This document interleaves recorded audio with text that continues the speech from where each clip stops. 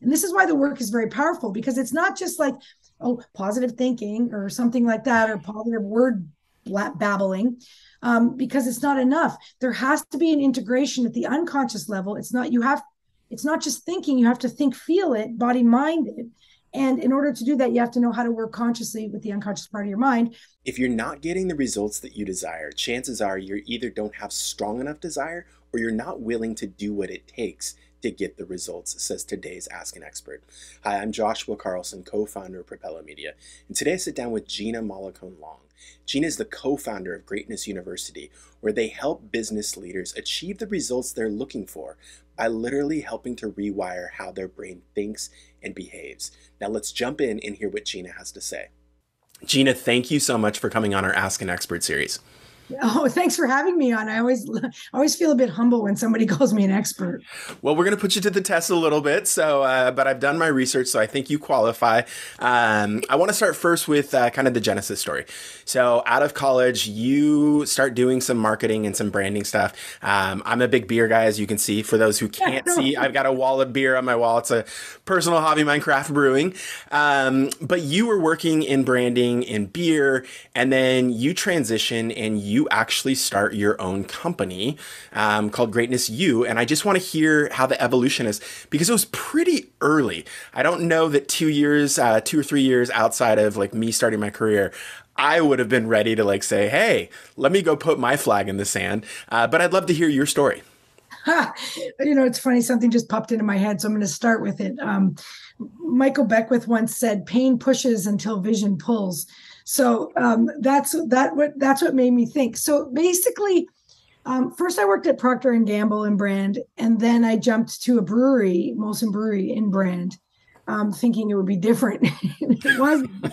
Um, I mean, the products were different. Yeah. But but I think what ended up happening was I knew right out of the gate when I got into the corporate world, I was like a you know a fish out of water. But when you're 20 something you know what do you know? So i just i thought you know who am i? Like this is what am i crazy? Like i got this great job and so you know maybe the problem's me. So i kind of just tried to stick it out but it, it if i reflect back the minute i walked through the door i was like nope because i just um the environment wasn't conducive to who i was. But you have to remember that there's it's very important to go through this phase where you be who you think you should be. It's okay. important to go through it. I'm not saying it's fun or you should stay there, but it is important to go through it. And so my whole life I had been doing all these other things, but then I did my engineering degree and then I had to get a real job and blah, blah, blah. And so, but so right away I was like, oh, this isn't right. So then I tried to jump companies after a few years and then it was still the same. So then it just got to the point where I couldn't ignore it anymore. And so I, I remember I was eh, 25, four, and I said to my husband, I can't keep doing this. He's like, Well, what are you going to do? And I'm like, I, I, don't know, but not this. And yeah. so I just, and luckily, when you're that young, there's not a lot of expenses or risk. right. Right. So I just jumped ship, and there was no such thing as coaching back then because it wasn't, coaches were sport people which I, by the way, had been uh, at one point when I was 16 years old. I held five national coaching certifications. Um, wow. Yeah, the Canadian Coaching Foundation. So, um, not I wasn't a national coach, but I was certified in sure. five sports. So that was my like hobby and my summer jobs and things like that. So when I started, when I well, I didn't really start, I kind of just left and okay. started. I called it consulting because that was the closest thing, but it it wasn't consulting, it was coaching. I was I was coaching businesses on how to manage their businesses in the same way that I had been taught very well how to manage a brand. And so it was it was coaching. And then that evolved, you know, over time and and just as I evolved and my husband was a stockbroker and then he sold his book and then we started a corporate training company because we observed that most corporate training sucked. Um, and then we started a coach uh, corporate team building, and then I started teaching other people what we were doing. It just kind of so I'd love to say I had this massive vision one day, you know, but I didn't. The pain pushed me out the door, and then I developed it as I went along. So I, in one of my books, I called it "Ready, Fire, Aim." that's pretty much. so let's talk about the aiming portion of that because you've already fired, um, and you know I know especially for entrepreneurs it is like like I don't care if all wheels are on the car. We're just going, right? We'll we'll put the car together as we're doing this. But talk to me. Um, did you have any semblance of kind of a growth strategy early on in your business, directional? Um, so you're shaking your head, so I appreciate that. Like, but how did that evolve over time as you started refining the business and saying, okay, this is really the niche that we want to do? And then yeah. once we've identified that, like, how did you start scaling that? So it, it it i was going to make a funny quip like so we have this meeting in an hour where we're going to go over that? Because like, we're, we're still doing it. I mean when you gave the visual of like putting the you know the i don't even know if the wheels are on the car that's how i feel kind of every day. Okay. Um, because uh, one of the the things i teach uh, like a like very foundational is and, and i've been doing this this particular sentence for like 20 years is that the number one quality you have to have is flexibility of behavior especially mm. for an entrepreneur. Like i cannot stress this enough so i'm going to repeat it. Flexibility of behavior. Yeah. Which because if you if you are attached in any way to the how of what you're doing i mean it might work but generally speaking you're going to miss where where you're being guided to, to where the mark you know market's taking you or clients yeah. are guiding you or whatever. So there we've we've adapted a lot. Oh, and and and i want to just say this it's not that we don't have a strategy we do but but we we built it's at such a top level um, based on our values that as long as we were adhering to our values we were less attached to the execution of what we were doing. And and so why that matters is because ultimately i left the corporate world in 1998 and i have run the same business i.e the same business number mm-hmm. t- till now and it has not always been the same uh, delivery okay. and the reason why that's important is we've we've suffered through you know we've thrived actually through three recessions major global crises right multiple yep. times um, and each time we've emerged stronger and adapted to the circumstances, but in no way could have predicted we would have done that the year prior, right? Okay. So, so I would never have said, for example, um, because we we did corporate training and team building early on when we when we did actually create a strategy when it wasn't just me coaching someone right um, yep. we did actually have a strategy corporate training and team building experiential learning accelerated learning techniques blah blah blah um, and then, so we were running these corporate training and team building programs. It was it was me and my husband and a few other people at that point. And um, September 11th happened, and mm. we were very early in our business, and we had a number of events taking place. I, I want to say on September 12th. It wasn't all on September 12th, but it was like really imminent around September 11th. Yeah. And as you know, the airspace closed. Yeah. So we were flying our staff all over the place for these events, and we could not. Now right. you can't even predict that.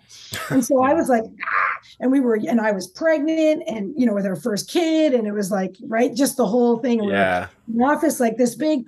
And um, my husband said to me, well, there's this thing called LinkedIn. And I was like, okay what, what is that? He's like well it's a social media remember these are like foreign words okay? Yeah social right. media platform we're connecting people in other industries and i think i can find event leaders qualified to lead our programs on the ground.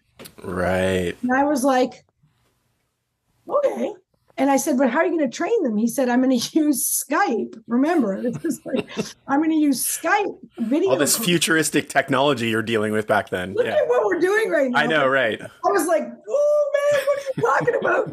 and he said, but like it's it's the only thing we can do. We have to save these events. And I was like, that was you know we have to save these events. The client yeah. can't show up, so we did that, and and and it was seamless, and it mm. was exceptionally successful. And and we were looked at each other and went um, okay our profit margin just went up because there's no t&e we yeah. never traveled another staff virtually ever again. Right. Like it, the cost of travel just was gone. Right. we started building a network all over the world. Now this is 20 years later. My husband runs the team building side of the business. And i just remember hearing him about a week ago and i said what was that? He said oh we just got a team building event in oman. And i was like oh no, sorry, Jordan, not Oman, sorry. And I'm like, when? He's like, it's in a few days. I'm like, how are you pulling that off? He's like, the network, right? Yeah. So, so, but so the this this attachment to being flexible hmm is it, and so it, for some people it can be frustrating because it's like i thought we were a paperclip company you know and now we're making i don't know staplers Yeah. so but the thing is if you don't adapt you're you're dead. So that has been absolutely the secret to success which has been to instead of requiring the circumstances to change we we adapt to what the circumstances put in front of us Okay, and I like this story because it fits, as I'm doing my research, it fits you to a T, which is, you know, uh, obviously we just lost the Queen. So, Queen is a buzzword that's buzzing in my mind right now. So, as I'm doing my prep, I, I found you to be the Queen of Change, right? You're all about change and this instrument and how we adapt to it and how we perceive it and all the things that we do. So, I want to get into this model that you have, the ABC Acme. And so, for those of this that are going to be listening to this on the podcast version, I'm just going to try to visualize this for you guys. Uh, imagine a parallel line, um, parallel to your desk or the earth, right? And on one side is A, and on the other side is B, and then B drips down to C like a V. And then it shoots back up past A and B, and that's where Acme is. So I want to set that stage just for the illustration for those that you know can't see it or haven't seen it. But like this is the Acme model that you have you guys have developed. I want you to talk us through what that model is and how it works. So, oh my God, I'm I was literally just before I tuned into this, I was trying to get something done and I was working on the on a, a program we call Ada Acme. And so um, basically, first of all, for those of you watching, if you're old enough to remember, Acme should make you smile because it makes you think of the Roadrunner and Yep. the Coyote and the Anvils, right? And so honestly, this is not a joke. We this was about two years ago. We have these mechanisms, right, that we teach and we had this acronym ACM, and it just just doesn't fly, right? It's just like nobody can remember it. Is it CAM? Is it ACM? We were getting it wrong, Yeah. and, and we said we need a catchier thing. And my husband's like, "Oh, it'd be so great if we could just do Acme because it's like just such a quintessential thing of our childhood." So I'm sitting there and I Google the word acme, and I nearly fell off my chair. Acme is the Greek word for peak or highest point. Uh, like I run a company called the Greatness Group. We have the training platform called Greatness U. We're all about peak performance. How in two decades did I never know that acme was the ancient Greek word for what we eat, freaking do? Yeah. Okay. And so I'm like, now we got to make this fit. Right. So so I, I'm like, I can I can get another word out of there, right? So ACME stands for the accelerated change mechanisms of excellence. It would be great if it was greatness because that's our company, but I'll take excellence. It's good. Yeah. Right. right. Okay. So what does that mean? Well, so I love Queen of Change, by the way. I'm, I'm just like literally thinking of changing my business card. Um, because so so here here's the thing about um, success or or leaders or coaching or or whatever you're trying to do. It's all about getting to that next level. And so Acme really is so if A is where you're at, Acme is your next level. Okay. Okay. Now, one of the things you should notice is when you get to your next level, there's always another level. It's kind of like if you've ever gone, you know, hiking in the mountains near where you live, you get Yep. to the top and then there's like another higher one off in the Sure. distance. Oh, that process only ends if the one in the distance is Mount Everest, by the way. So, like, Acme's always there. And so my entire life has been dedicated to getting people from A to Acme as quickly as possible. A, where you are now, acme where you want to be your highest point whatever that is. And it's it's evolutionary over time. So what was your acme today will be your comfort zone tomorrow right? And it, mm-hmm. it just keeps evolving over time. Now my background is my undergraduate degree is in engineering process control. And so i'm a process aholic Yeah. and everything i do i try to turn into a system it's because i'm lazy right so Okay. i just want to replicate i don't want to think and so um, this diagram, and I was looking to see if I could share it on my screen. But, anyways, this diagram looks like a check mark, the one you Yeah. just described, right? Right. So, you know, you're kind of A is where you are, and then there's this dip down and then up. Shoot that, up. yeah. Right. And so, so first of all, there, there are these five sort of stages on the on that diagram. A is where you are. That's your comfort zone. No change is possible because there's no movement. Yep. B is when the movement starts, right? Okay. So B is where the desire to change has been awoken, right? There's a desire. So in A, there's no desire. It's like you don't know what you don't know. You're you're unconsciously incompetent. You don't even know. Like it's just it's bliss. That's why they say ignorance is bliss. Okay. B is where you realize you don't know something or you don't have something and you want it. So what we say is you're consciously incompetent. Okay. So you know you want it, but you don't know how to do it, but it's required. Without that desire, nothing starts. Yeah. Okay. Now I just want to say here, it's you've moved out of the comfort zone. So I just want to be clear to everyone listening. This is very important. By definition, it will be uncomfortable. By definition. Because you've So- left the comfort zone. Right. Stop complaining that when things are changing or you're growing, that it's uncomfortable. It's supposed to be. Yeah. Great. Now, desire is not enough, but desire is required, and it's got to be your desire and it's got to be a burning desire. Then what happens, and the reason why the, the diagram goes down is you don't you, you have the components, like you kind of have all the components, but you don't have the sequence. So there's this period of trial and error. And depending on your capacity for coping or your resilience, right? you can withstand more falling down than others. So, you know, fall down seven times, get up eight kind of thing. But usually you'll have a limit. And when you hit that limit, most people will want to quit because that's what they're used to. They're like, I've given it all I have. I want to quit. But what I'm here to tell you is that's all you had based on the previous comfort model Right. but it's not all you have capital h and this this is being you know your chance to dig deeper and so um, i lovingly refer to this downward part of the diagram as hell and only because not because i'm super brilliant but because churchill said when you're going through hell keep going and so i was like oh perfect so he knew something about change or about progress and he also said never ever quit. And I thought, wow, those things are true because ultimately you will find the sequence. Now, here's a total tip if someone's ever done it before, copy them. Yeah. Like you talked about scaling.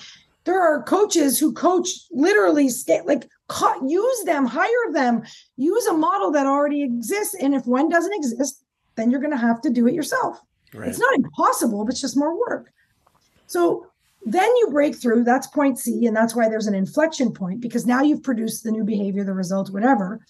But that's not enough. It's not enough just to do it once. It's like taking a baby who just learned to walk and having them cross the busiest street in your town. Are you crazy? well, now you have to integrate those behaviors till they become dominant. Think wax on, wax off. Yeah. once they're dominant and you couldn't not do it that way even if you tried you wake up in the morning that's just who you are then you're at the acme because now it's an integrated behavior in who you are.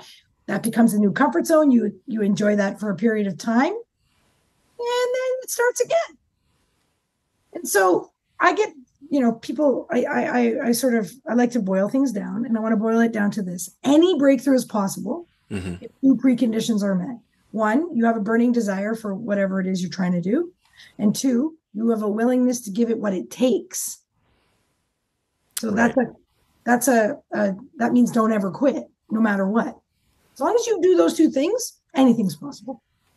Okay, so let's talk about um, changes as you meant. Uh, A is my comfort zone, right? And so B is yeah, B is like I now have like experienced desire for something else. Between B and C is this like it's the the rocky patch, right? And so you've got some tools that we can use to help us facilitate, and you may place them in different areas. But as I'm doing my research, a couple of them really um, piqued my interest. So the first one that I want to talk about is critical faculty. Can you explain what that is and how we should leverage that?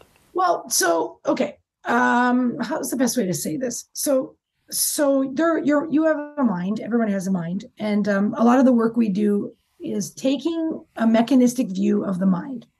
Okay. So I keep I always point to the head because that's where people sort of think the mind is, but we don't know where the mind is. I don't know. I don't know. Right. I could I could sit here and argue that the mind is outside of us, but whatever. So so you have a mind, and then if we were to look at the mech- mechanistically, that means like like a machine. It doesn't mean you are a machine. Believe me when I tell you that my my real work and my real passion, like you know when I'm working late at night, is the opposite of that. I actually think we're we're capable of incredible, um, out of this world greatness. But if we look at it like a machine, it allows us to simplify this incredibly complex concept. Okay. So there's your mind. And if we look at it like a machine, we can first we can just break it down to conscious mind and unconscious mind. Mm-hmm. So conscious mind is everything you're conscious of, and unconscious mind is everything you're not conscious of. Super complicated. Now, I always say to people like, your your your conscious mind's kind of in charge of goal setting you know imagination willpower all your sensory uh, perception mm-hmm. is conscious right? The unconscious mind is really only in charge of three domains. One it's in charge of all of your time memory storage all of your sort of recording of what's happened to you. Okay. two it's in charge of your body. And three it's in charge of your emotions okay and your body i mean think about it. You know you showed me earlier that you were having some coffee and some lemon ginger or whatever. But right now you're not consciously going okay i'm going to need the lemon ginger enzyme to kick in here right? That's your unconscious mind's just doing that. Yeah. Luckily we don't have to think about it. So the and this again this isn't a real thing in your body just so we're clear these are concepts. So the critical faculty is the part of you that cares to distinguish between reality and fantasy. It's sort of like the the gateway between okay. the conscious mind and the unconscious mind, right? Carl Jung did all his work in the unconscious mind. Um, you know, dreams, archetypes, da da da. Mm-hmm. That's that's all what we would not our conscious minds would not consider reality. Okay, so this critical faculty is the part of you that cares to distinguish between reality and fantasy. Now, here's why this is important. Up until about age seven, you don't have one. Okay. Okay. Period. Developmentally, just this is a psychological principle. You can read this in, you know, People Puzzle or whatever. Like this is just psychology 101. So up until about age seven, around age seven, kids start saying, um, "Mommy, is that real? Daddy, is that real? Is that real? Is that real?" Mm. Right. So what's happening is the development of the critical faculty. Now, when you consciously determine something to be real or true, you live by its rules. Okay. Okay. So if you have a belief that is uh, real, okay, um, for you, called I'm not good enough or whatever, lots of people have these, right? Sure. And you act like this is true and you go about your business, you you can't just override that because for you it's consciously true. Why this is important in the work that we do is all of the mechanistic tools that we use we work consciously with the unconscious mind which is where all our beliefs and habits and programs are stored. And in order to do that we have to know how to bypass the critical faculty so that we can change at the foundational level these beliefs or these decisions or whatever so that they can then become true accepted as true by the conscious mind. Okay. Then you go about your business. And this is why the work is very powerful because it's not just like oh positive thinking or something like that or positive word babbling um, because it's not enough. There has to be an integration at the unconscious level. It's not you have it's not just thinking you have to think feel it body minded and in order to do that, you have to know how to work consciously with the unconscious part of your mind. And the only way you can do that is to know the mechanisms for bypassing that critical faculty. So it's just it's just like um, I got the maps, I got the tools, I know how to do it. It's it's super simple. But if you don't know how to do it, it can be major daunting, right? right. Because bypassing the critical faculty, although it's simple, it's not super easy. But you do it all the time. Like if you go to watch um, Superman, Okay, let's just say we go watch the original Superman. Sure. Okay. And we're sitting there, we're watching it. You and I both know in the reality that we live in currently today, men can't just put their arms up in the air and fly. And fly, right. Okay. We kind of know that. And so we sit in the movie and then he does that. Now, if you had your critical faculty fully engaged, you'd throw tomatoes at the screen and go ballistic. You'd be like, that's bullshit. Right. right? Right? But because we want to be entertained, what happens is we go, you know what? Now, this isn't conscious, it's unconscious. I'm going to relax my critical faculty because I want to be entertained. Now, here's the power because you're a marketing guy and I work in advertising for one of the biggest companies in the world. Let me tell you something. The moment you relax your critical faculty in a mo- in a in a movie or a, t- a television program or whatever, that is the exact moment of product placement. Mm. Just from a marketing perspective, what you need to understand because your critical faculty is dissolved at this point. Yeah, so now right. I can put buy my thing in your mind while your mind's open. Right. And I say to people all the time, okay, I'm a master trainer of hypnosis. There is no higher designation in the boards of hypnosis, right? Board certified. I worked as an advertising executive, and I'm here to tell you without question, all advertising is hypnosis. It's a right. process of hypnosis. Now, people are like, right? No, no. Here's the definition of hypnosis. When you are in a trance state, I make a suggestion to you and you accept that suggestion. That's that's the definition. Okay. The, the, the acceptance of selective thinking while in a trance state. Okay? That's like a, a you know, a definite uh, an academic definition. So, watching a TV or a screen, even watching this video right now, mm-hmm. what we don't realize is the screens are flickering. Right. That produces a trance. A trance is just a brain wave state slightly slower than alpha waves. Alpha is where you can start to enter, but it's slower than that. Okay. okay. And the screen, if you ever taken a picture of a screen, you know what I'm talking about. It kinda, 100%. Yep. Okay. That induces this brainwave state. Okay. Okay. Now, when I come out with my washing powder or my toothpaste or my coffee or whatever, if I suggest to you while you're in that state that you should buy that, then I've done what I've done is I've induct, induced selective thinking while you're in a trance. Now, when I tell this to people, they're like, what? And I go, they go, but uh, hypnosis is malarkey. I go, well, do we pay millions and millions of dollars for malarkey in our culture? Maybe, maybe not. But value, the higher, the more something costs generally in our culture, the more we think it's valuable. And the last I checked, and, and I haven't worked in advertising in a long time, Super Bowl ads, 30 seconds were millions of dollars. Yeah, right.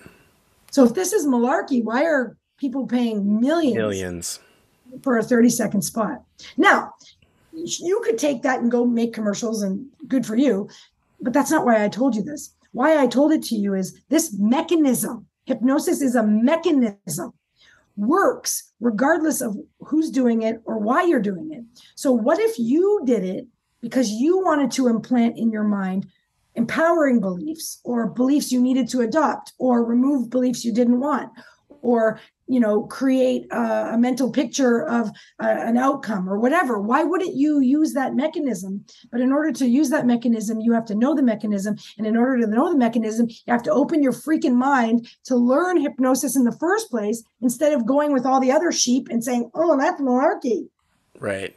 Because let me tell you something about secrets. The people that are really successful on the planet today and believe me when i tell you i've studied a lot of them that's all i do is study the best way to hide a secret is to put it in a plain view and criticize it from a position of authority. Hmm. So that's my role. well, it's a good one because I'm glad you brought up um, hypnosis because that was going to be my next question. But is we're talking about critical faculty, right? So you talked about the marketing side of it, right? You know, smart people leveraging, you know, television and waves and planting suggestive products or services.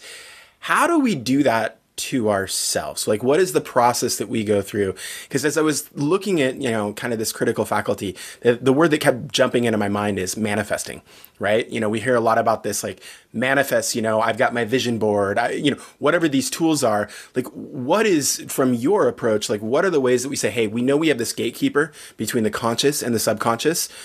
What is the tools or what are the methods that i can start doing to say hey I do have a vision. I have something that I want to do, but I want to be more critical about it with my subconscious. What do I do? Okay, so a couple of things. I'm a process person, so I'll just talk you through a basic process blueprint that would apply regardless of the technique. Okay. And then there are techniques that obviously work better than others, but but the process itself is simple. And I also want to make a distinction here because Freud used to call it the subconscious mind. Jung calls it the unconscious mind. Sub implies lower, and I want to yeah. tell you something. It's absolutely anything but lower. Right. Okay. In fact, I think it's the opposite. So maybe we call it the super conscious. I don't know. But um, so there, there are three components to the process of changing your mind. Okay. First, you need a trance. Some some way, and so you could call that uh, um, you could do you could do any any way to put yourself slow down breathing technique yoga um, you could watch tv you could listen to you buy binaural beats. There's a million products out there that are designed to put you into a trance. Fastest way to put someone into a trance is fear. Okay. Just saying because the world right now is full of it yeah. and i just want you to pay attention to um, the mechanism. Once you're in a trance then i suggest to you Okay. So if if someone else is putting you in a trance via fear, then what they're suggesting is becoming your you're accepting it. I'm instantly seeing news media today, right? Oh so. my God. Just so we're clear, and I'll share a secret of success. Shut it off. Yeah. I haven't watched news media since March of 2020. Bravo. The day my business revenue went to zero. Mm. Right. And I'm still here. Yeah. Right? Now, why? And you talked about this word manifesting. We throw it around like it's like this this buzz pop culture word. okay, if you knew your capacity for creating, you would become such a custodian of your mind. But very few people are willing to do it. I say everything I teach is simple, but it's not easy. It requires discipline. Wax on, wax off. I, I wax yep. on, wax. Leave. I went to karate the other day. I, I started. I'm going to get my black belt before I turn 60, and uh, I just started. And we literally did like I said, oh my God, are we doing the, the, the movement? The right? We're literally, I was learning how to block the basic block. And I'm yep. like, oh my God, we're waxing on and off. right. And I'm practicing it every day. And so the thing is, is it's simple, but it's it's it requires discipline. Okay. So mechanism is once you're in a trance, your unconscious mind will accept any suggestion. Okay. So that means then you need to prepare your suggestions ahead of time, i.e., you need to know what you want you need to define it okay okay?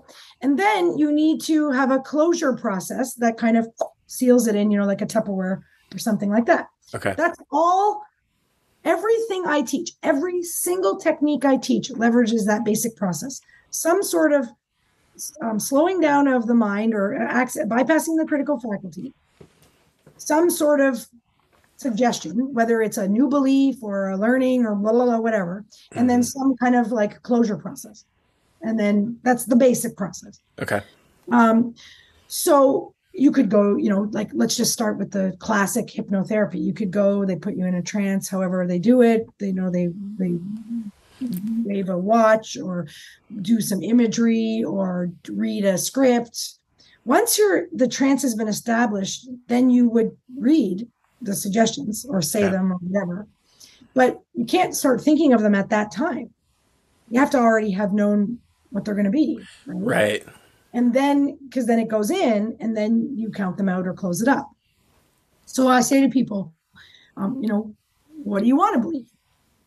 Well, I want to believe that I'm, you know, powerful. Okay.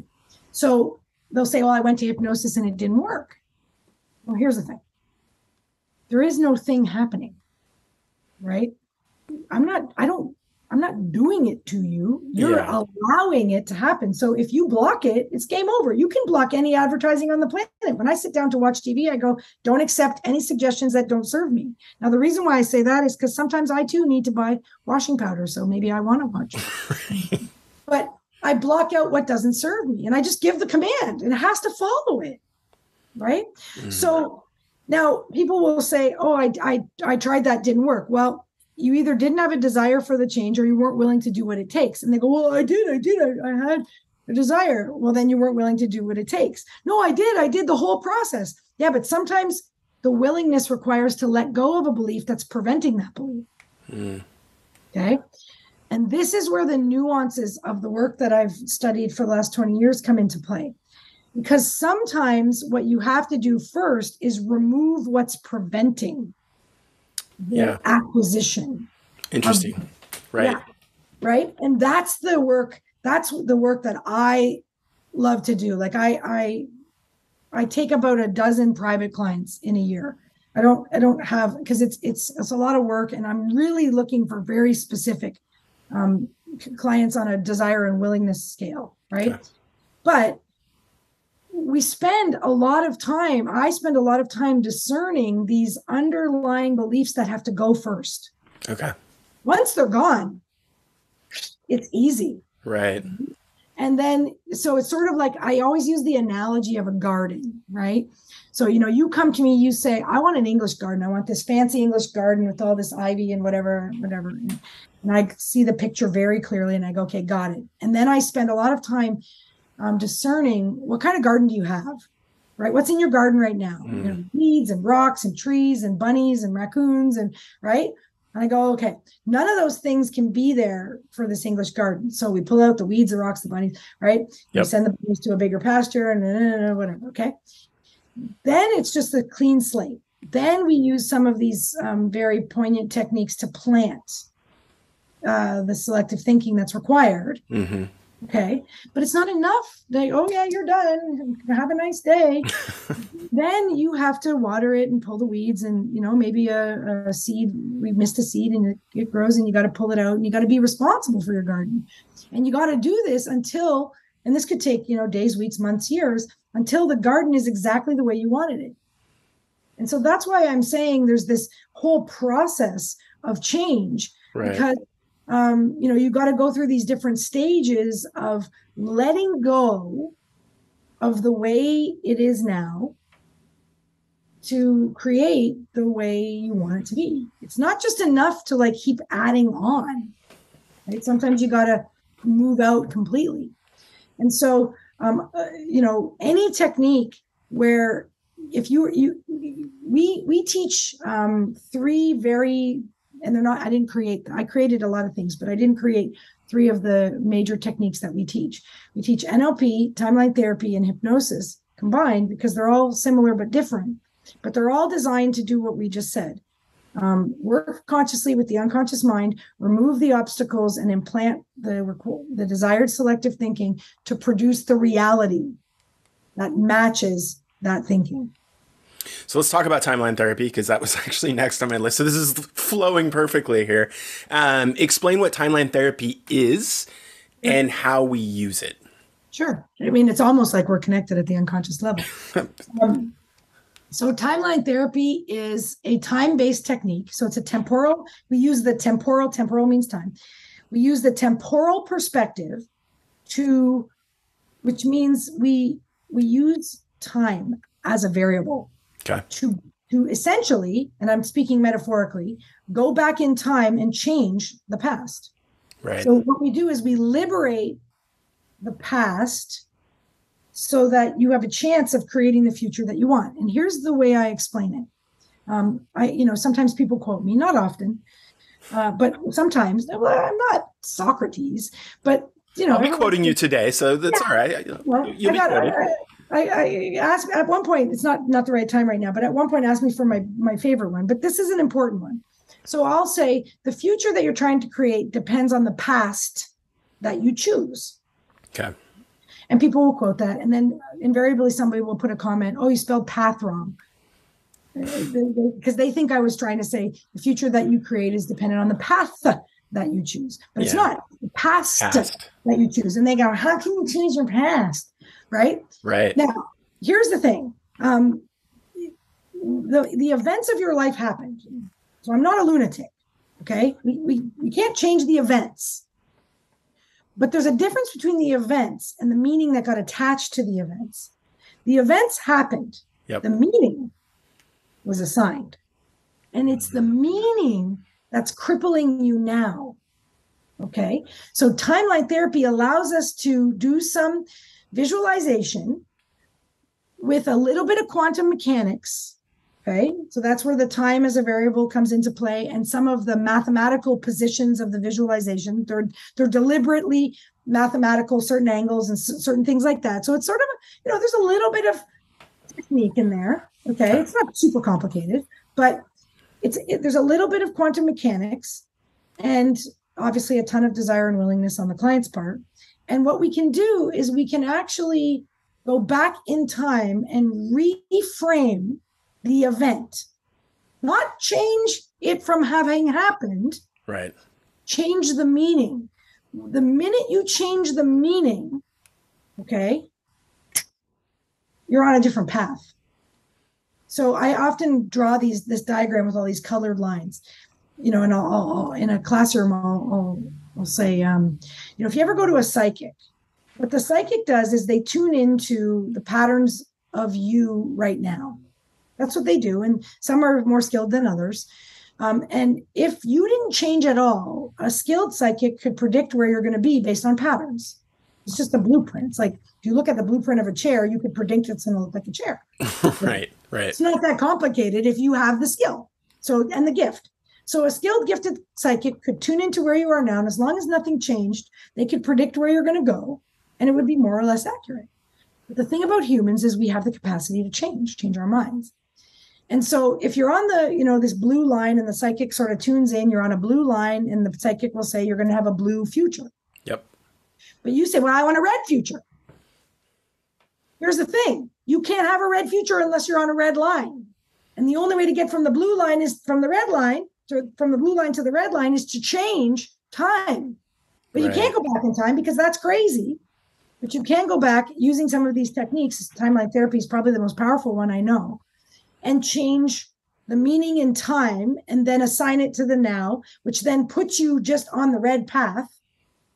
And then the red path outcome is inevitable. Right. So it's so people. I guarantee my results when I work with private clients. People can't believe me. They're like, "Are you crazy?" Well, first of all, I have an unbelievably um, accurate selection process, which I do not pray. I, I turn down most people that I take. They okay. have to get through the first gate. After that, all I got to do using the techniques I know, like timeline therapy, is get them from the blue line to the red line. And then the red outcomes literally guaranteed. Just got to shoot them like a puck on the ice and they'll get there. Yeah. And so it's not, I'm not a Pollyanna. I am not a Pollyanna. I don't walk around thinking it's rose colored world. It's right. not.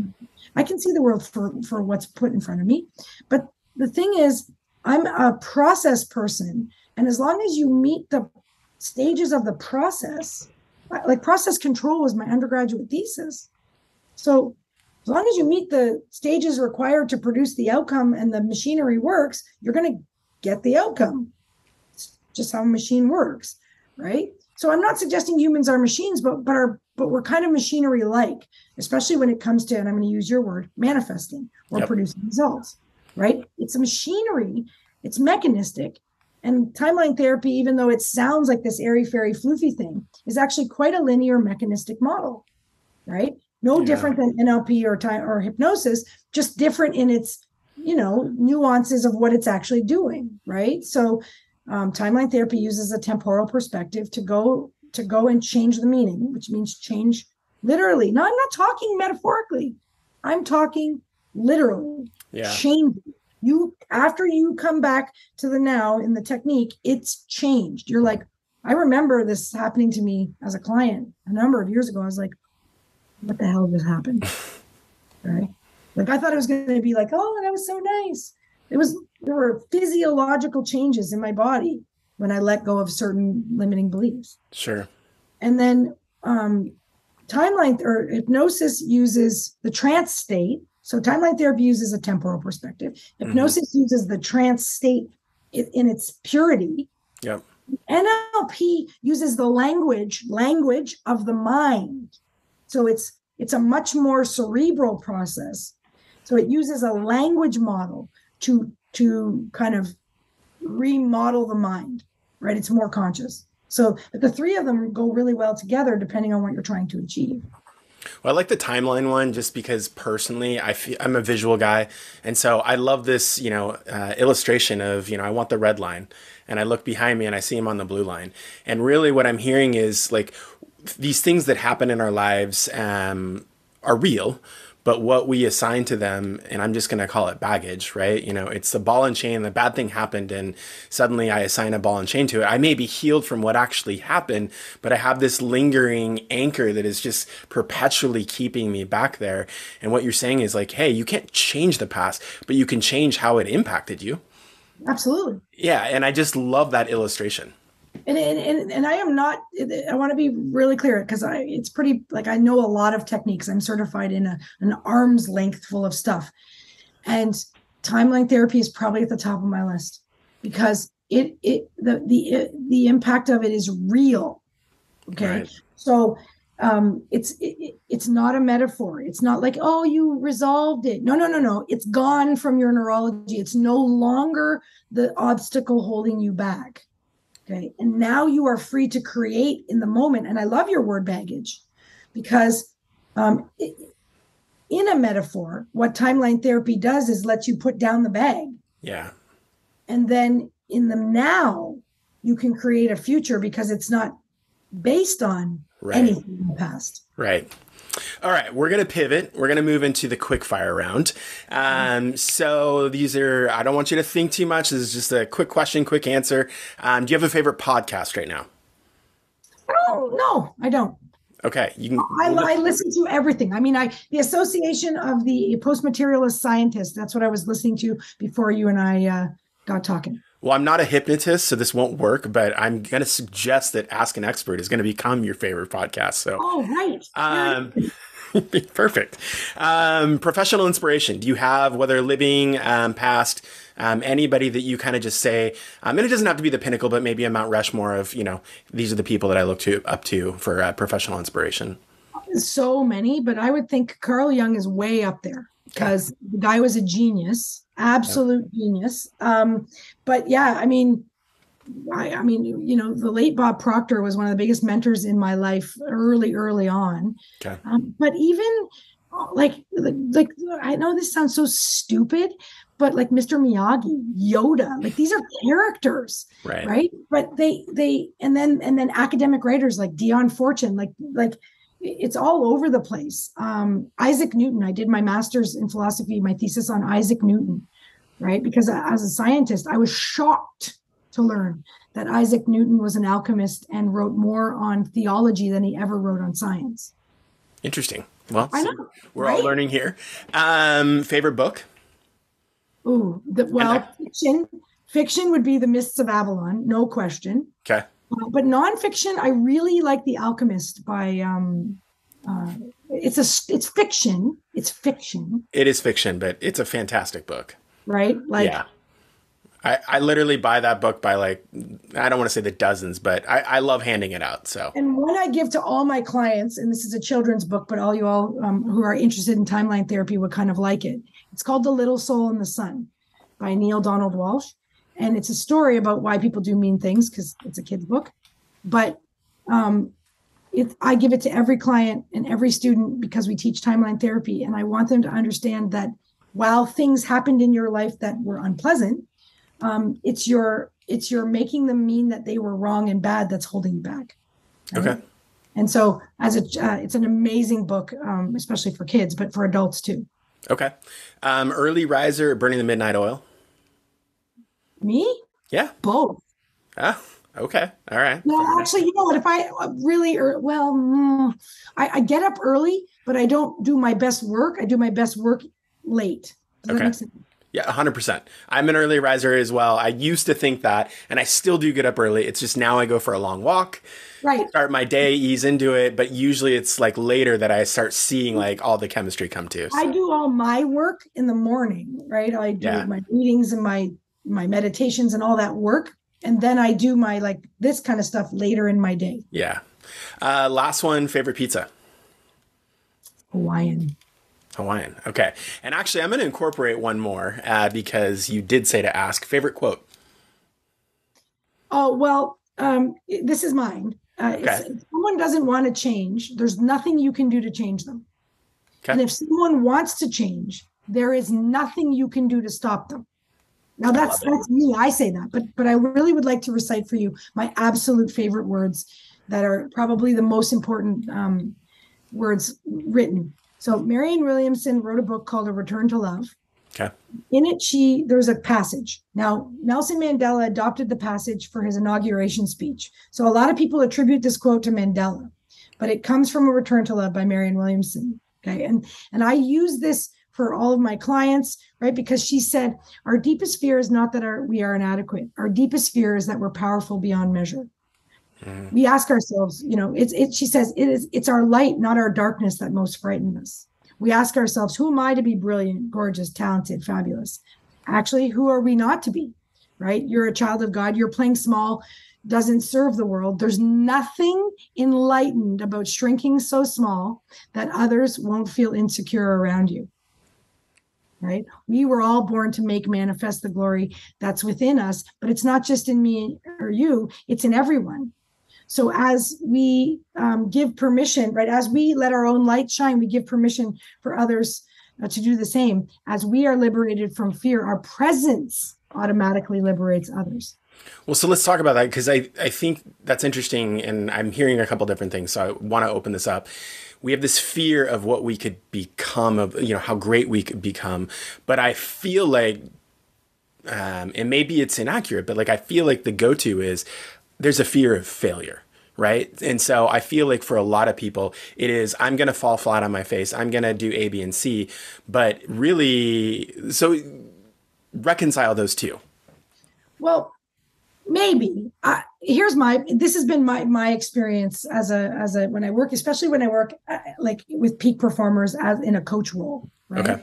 um so our deepest fear is not that we're inadequate our deepest fear is that we're powerful beyond measure my experience is that when i'm doing timeline therapy with with somebody who's you know trying to bust through to the next level they they can more quickly get to letting go of their baggage as you termed it. You know their mm-hmm. negative emotions their limiting decisions their limiting beliefs. They can bring those to the surface pretty easily.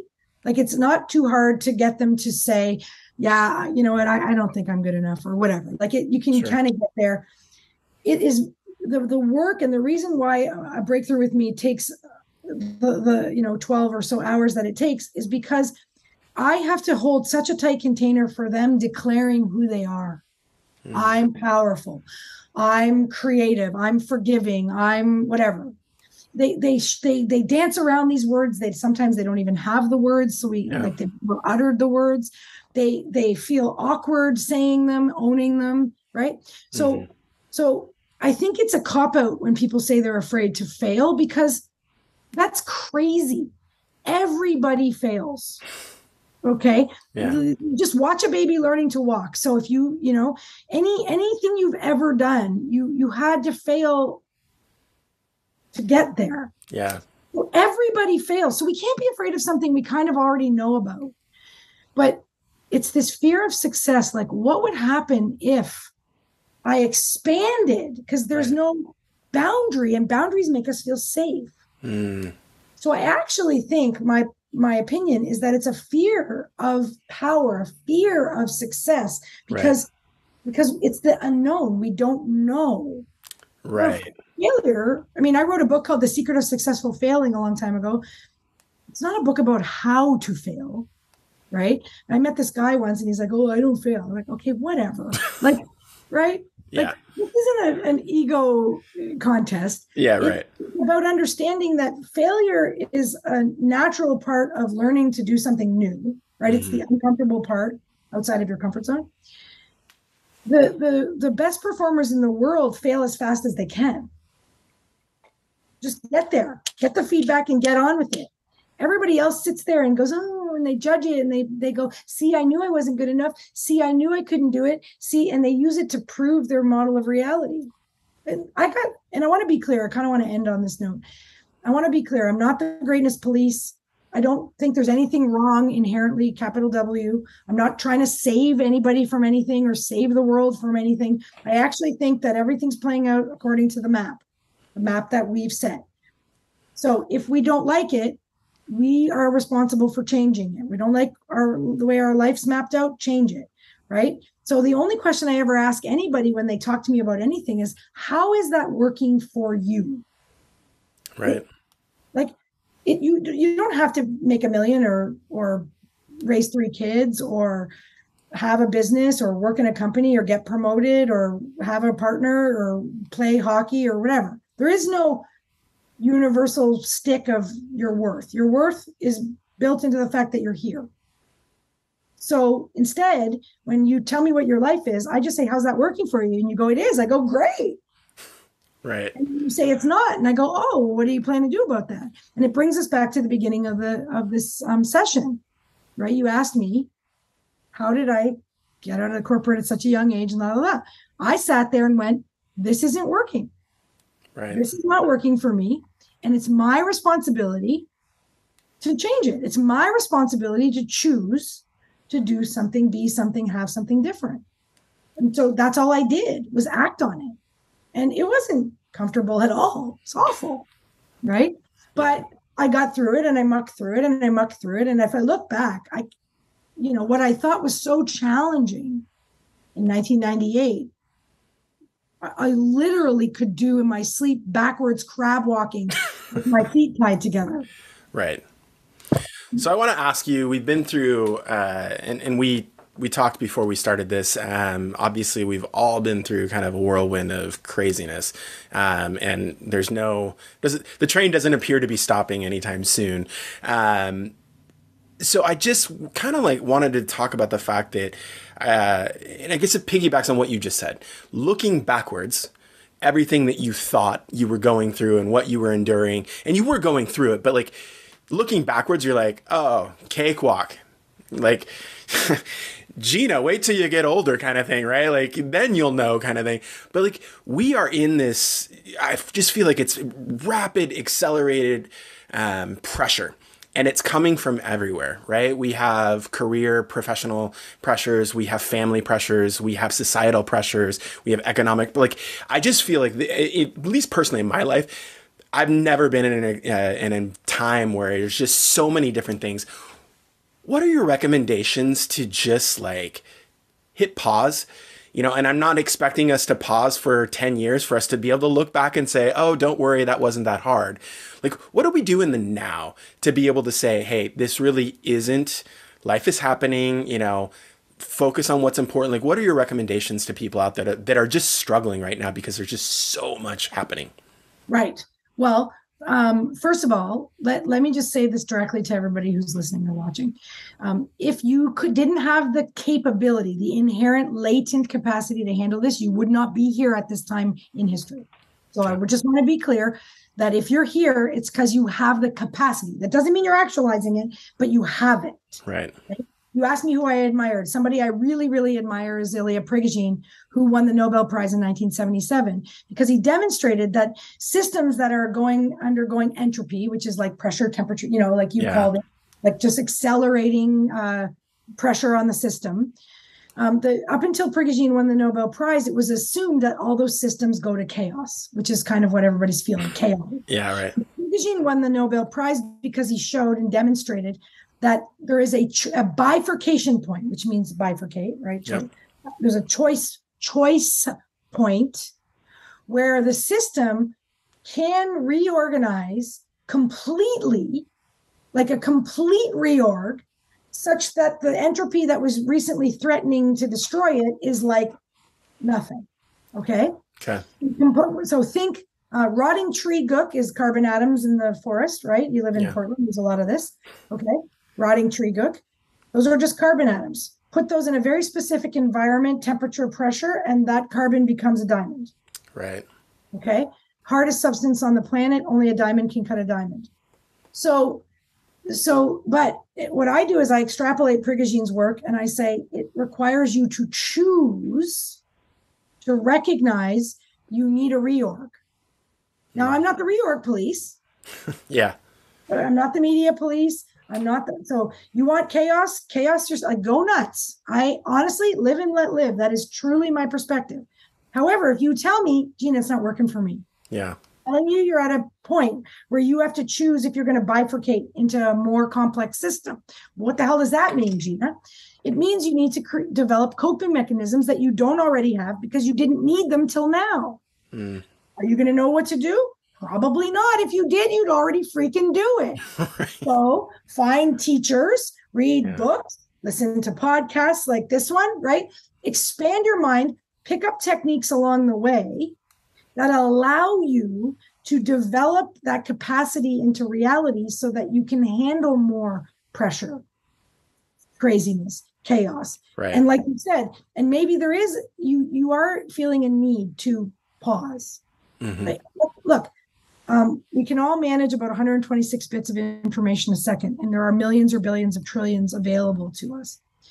And and I did something, and I'm not even joking. March 2020, I went, nope, Yeah. because not because I'm a- an idiot. People are like, you gotta be informed. Okay, first of all, if it's super important, 14 people will text me, right?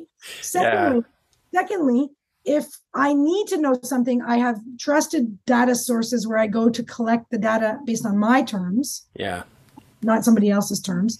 And if I need to go get data I would consider to be hard or bad news or whatever, I put myself in a resourceful state first, then I ingest this, the information. Okay. Because it was all coming at me and I felt like I was on fire. Right. So, so that's a coping mechanism. Now, I haven't had a social media app on my phone in two years. And while I miss the odd birthday or cool photo, you know, from time to time, my kids show me something or whatever. For the most part, though, it's just quieter. Yeah. And what's happened is the bandwidth I used to give to that is free. And I use it now. And and so we're evolving even our company this year. I mean, 2020, March, zero revenue. And I turned to my husband and said, huh, we teach all these powers of like creating results and blah, blah, blah. And, know, money's easy to make. Well, we have been presented with the golden opportunity of proving that Proving shit it. right?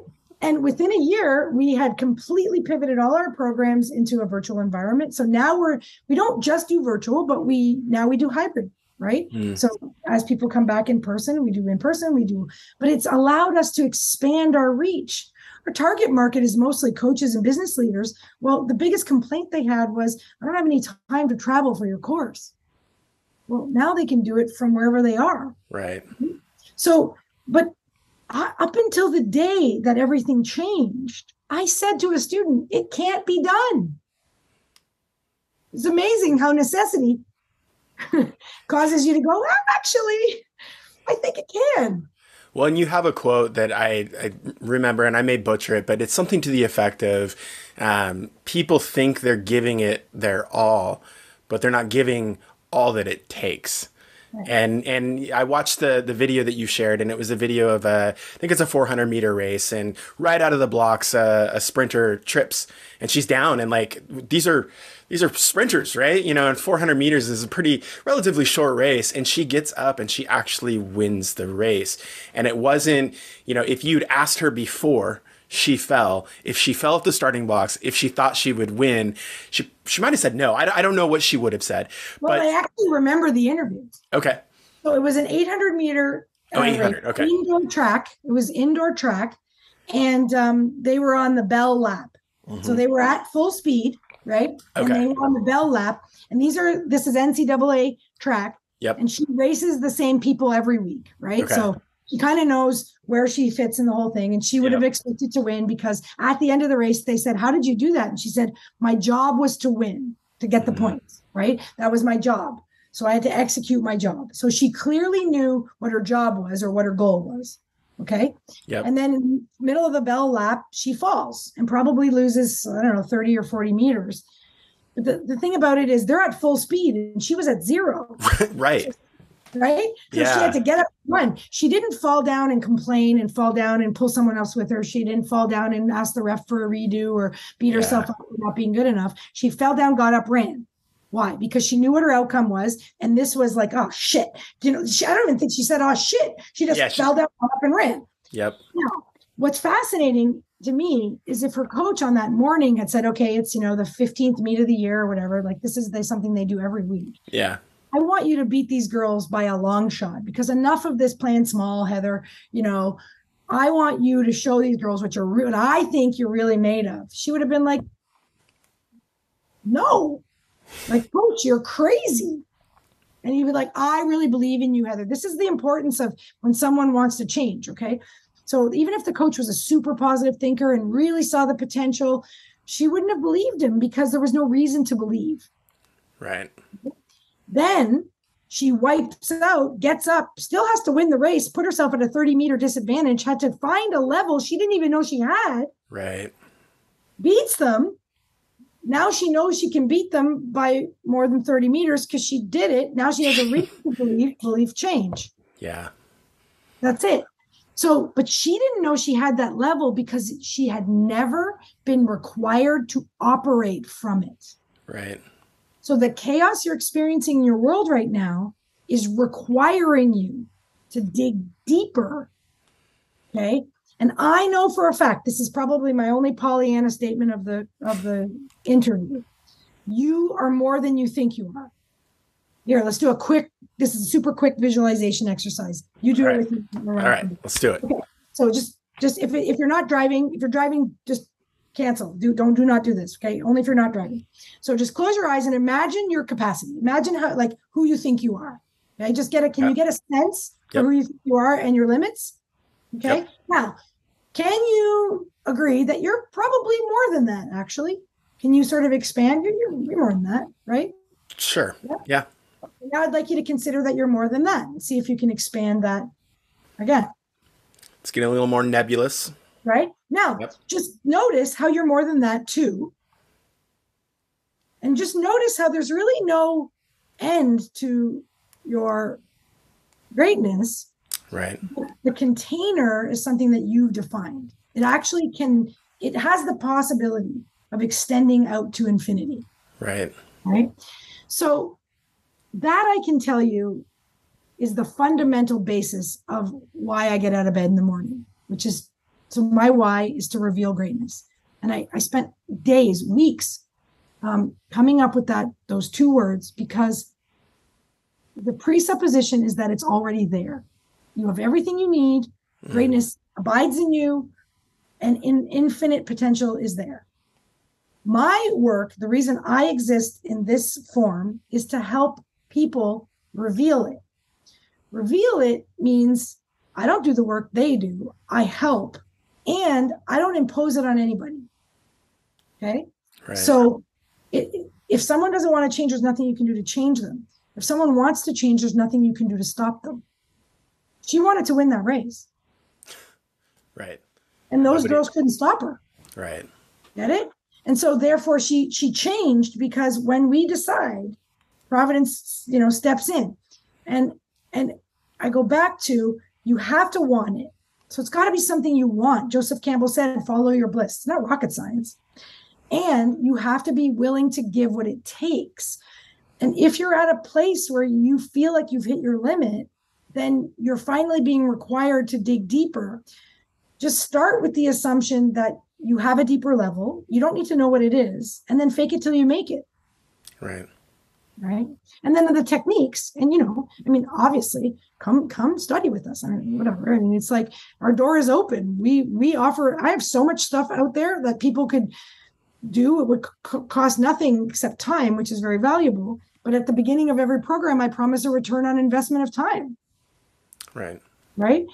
Because it really is just the choice to change the cause to see a different effect. Well, I think that's a perfect place to stop. I want to thank you so much for coming on. Um, we're going to link to uh, to your website um, and your social media that you do have. It may not be on your phone, but you do have social media. Yeah, well, Um, I, but I have to go in through the computer and I got to log in manually. It's very, very. It's got to be very, very conscious effort of yours. Um, so thank you so much for coming on. I know personally, I don't know, mid 40s, existential, you know, debates, internal questions.